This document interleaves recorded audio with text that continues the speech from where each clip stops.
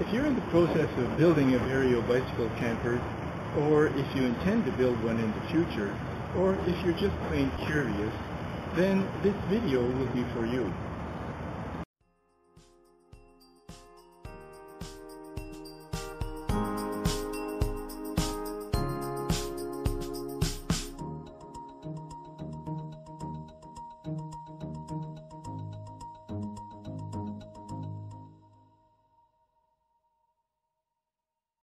The purpose of this video is to show you the small improvements that I've made this year to make life a little easier. This year I made three small changes and I discovered a simple trick to help guide the hood in place when I place it onto its tracks.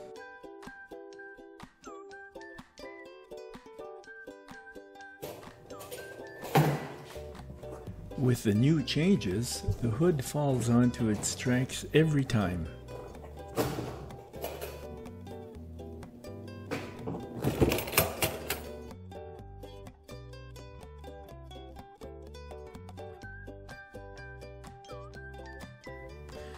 Because the sides of the hood were very flexible, it was difficult to align them with the tracks. Here you can see that the edges of the sides of the hood got damaged by the sharp edges of the U-shaped tracks. So I installed a stiffener near the bottom of the left side of the hood using a length of 3 quarter inch by 3 quarter inch aluminum angle.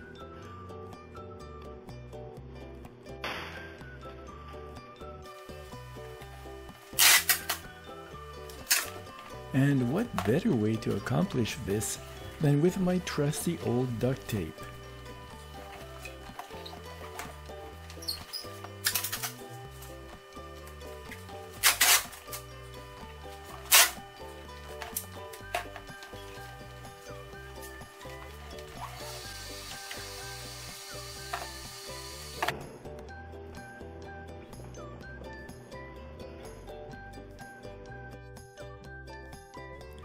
This is what it looks like.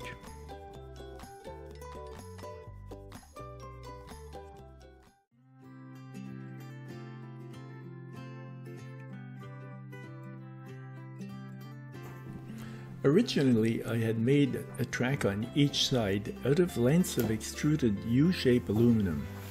I bent one side out as best as I could to make the top wider. It had to be wide at the top and narrow at the bottom, but it didn't work well, and it was very difficult to align the edges of the hood when I lowered it onto the tracks.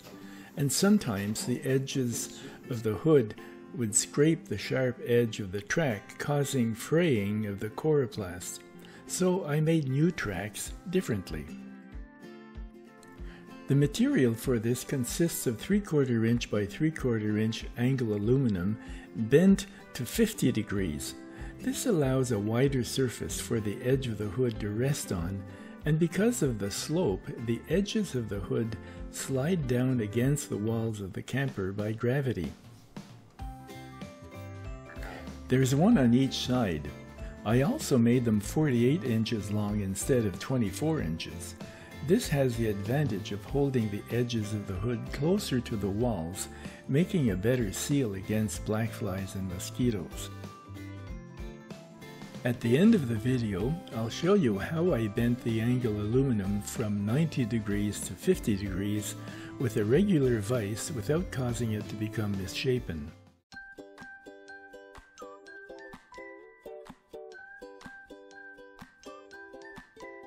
When I first designed the vestibule, I thought the zipper had to stop at the bottom of the hood. That meant I had to crawl on all fours to enter and exit. It was only after having installed the vestibule for the first time that I realized my mistake. So this year, my dear wife replaced the partial zipper with a full-length one. Here I'm attaching the top part of the vestibule to the side of the hood. And here I'm attaching the bottom part of the vestibule to the front part of the trailer using 1 inch wide Velcro.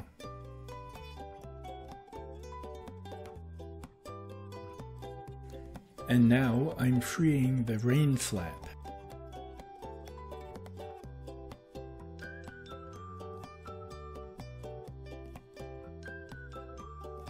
The rain flap may not be necessary, but it was easy to add one while the sewing machine was in use.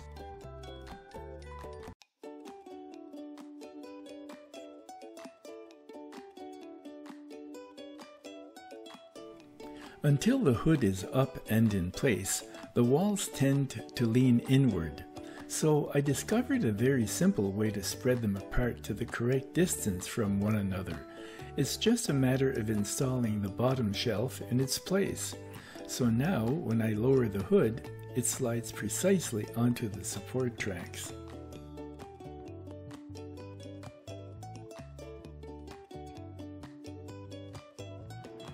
First I'll start with drilling the holes.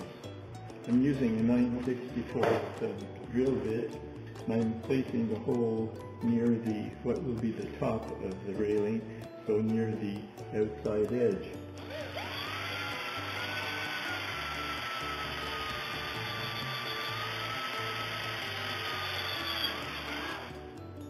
Now I'm going to make um, a bevel in order for the head of the screw to uh, sit in.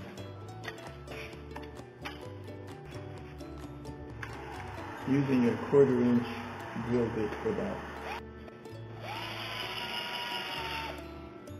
There we are. So first I'm going to place some marks on the outside of the angle and I'm going to place the marks at a distance a little less than the width of the jaws of the uh,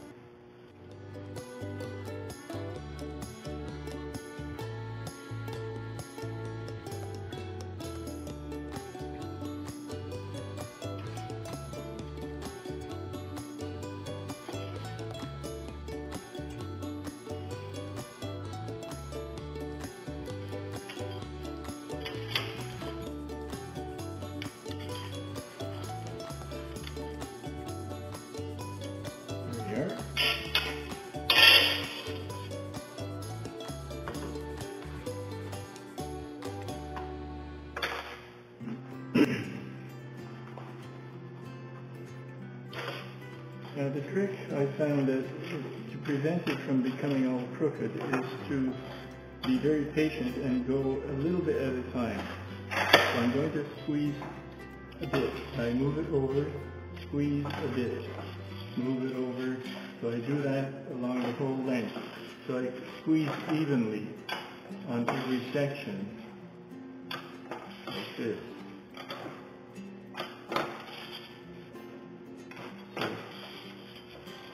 Takes a little time, but um, it's worth the effort.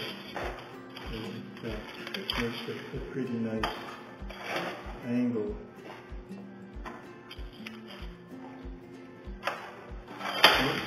So on the next pass, we're going to squeeze a little more. So I, I always return the handle to the same position. So I'm going to about here. So I'm going to push it forward go to the same distance each time.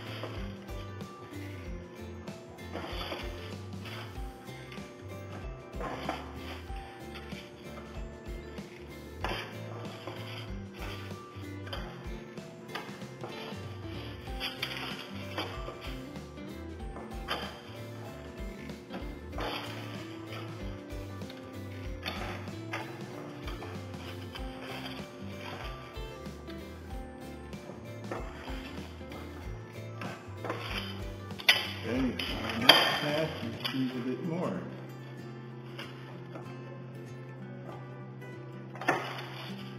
Now what you might want to do is to draw a 50 degree angle on a piece of paper and uh, check your your angle once in a while. Once you, once you get close to 50 degrees, check it out and uh, see if you need to squeeze a little more.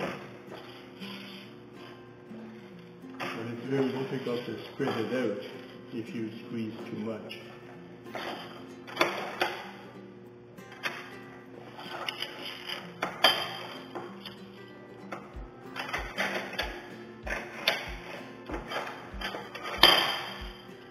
So keep on going until you have 50 degrees. All the changes I've made here are included in the new set of plans which I can send to any Bériault bicycle camper builder upon request. Good luck with the construction of your camper. As always, you can reach me by email and you can find the address on my website. Thanks for watching. Don't forget that if you want more information about electric bicycles or bicycle campers, or if you'd like to read exciting sailing stories, or if you're thinking of taking up sailing, you can find information about these subjects on my website, www.robertberiault.com. And never quit cycling.